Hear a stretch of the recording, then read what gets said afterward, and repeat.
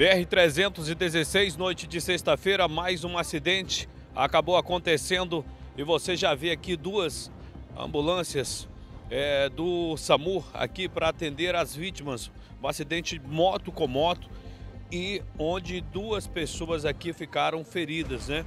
Você já vai acompanhando com a gente aí as imagens, né? Desse acidente. Aqui, ó, na, numa das motos, um homem e uma mulher aqui, ó, ficaram, acabaram ficando feridos, né? Já estão sendo encaminhados para o hospital. Na segunda ambulância, mostra ali, Eric, rapidinho o pessoal já está saindo. O rapaz também teve aí a perna fraturada e vão ser encaminhados para o hospital. Aqui um homem e uma mulher que estavam em uma das motos e aqui mais uma pessoa também que estava em uma é, na segunda moto que acabou aí se envolvendo nesse acidente. Vamos chegar até aqui para mostrar as motos. Aqui as vítimas já estão dentro da ambulância do SAMU, já vão ser encaminhados aí para o hospital.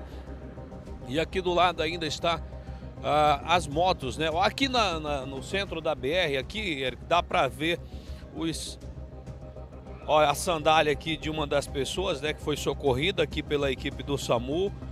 Ali, ó, resto da pedaço da moto, né? O impacto foi justamente aqui nesse local. Olha, muito sangue aqui no chão e acabaram aí se chocando aqui no meio da da BR 316 nesse acidente que acabou acontecendo nessa noite de sexta-feira aqui na cidade de Bacabal. Como aqui é muito rápido, né? Você viu a equipe do SAMU foi rápida, veio até o local, já atendeu a ocorrência, já encaminhou um homem e uma mulher que estava em uma das motos e a segunda vítima também que estava aí na, na, na segunda moto, na primeira e segunda moto. Como você viu aqui no local, a ambulância foi rápida, já atendeu as duas, as três vítimas, né?